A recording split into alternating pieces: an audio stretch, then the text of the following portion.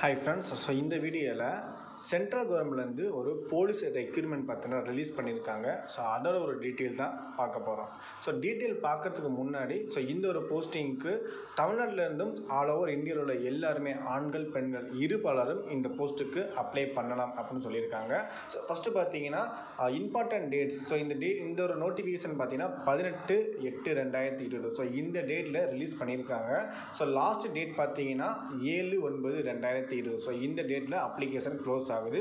So online application தான். Online application பண்ணுறதுக்கான link பார்த்தீங்கன்னா UPSC online dot NIC dot in so UPSC ஆன்லைன்னா so யூபிஎஸ்சிலேருந்து நடத்துகிறாங்களா அப்படின்னு பார்க்கும்போது ஸோ ஆமாங்க.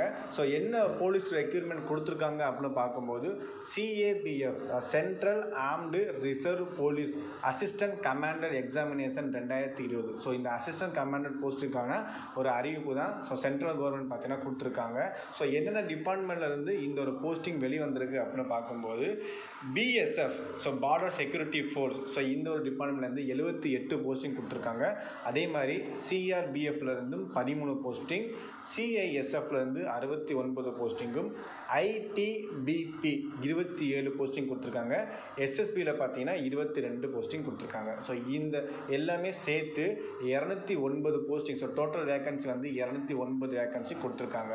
ஸோ இந்த இரநூத்தி ஒம்பது வேகன்சியும் CAPF central armed reserve police force so இதுலேருந்து பார்த்தீங்கன்னா எக்ஸாமினேஷன் பார்த்தீங்கன்னா யூபிஎஸ்சி வந்து கண்டெக்ட் பண்ணுறாங்க ஸோ அதனால் வந்து online application UPSC online dot NIC dot in so இந்த வெப்சைட்டில் போய் தான் நீங்கள் வந்து லாகின் பண்ணணும் அப்படின்னு சொல்லியிருக்காங்க அப்ளை பண்ணணும். ஸோ லாஸ்ட் டேட் பார்த்தீங்கன்னா ஸோ ஏழு ஒன்பது ரெண்டாயிரத்தி இருபது. ஸோ இந்த டேட்டில் வந்து பார்த்தீங்கன்னா ஃபைனல் டேட்டாக கொடுத்துருக்காங்க.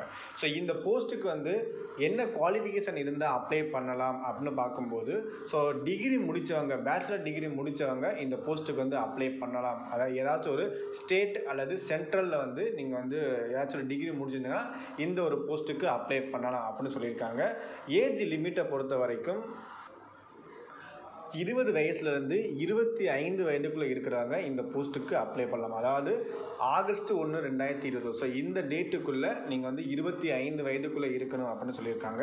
அதாவது ஆயிரத்தி தொள்ளாயிரத்தி தொண்ணூற்றி ஐந்தாம் வருடத்துலேருந்து ஸோ இந்த ஒரு ரெண்டாயிரத்தி இருபதாம் வருடம் வரைக்கும் தொண்ணூ இருபத்தி ஐந்து வருடக்குள்ளே இருக்கிறவங்க இந்த போஸ்ட்டுக்கு அப்ளை பண்ணலாம் அப்படின்னு சொல்லியிருக்காங்க. ஸோ அதே மாதிரி வந்து so SC ST candidate government rules படி அந்த ஏஜ் ரிலாக்ஸேஷன் கொடுத்துருக்காங்க.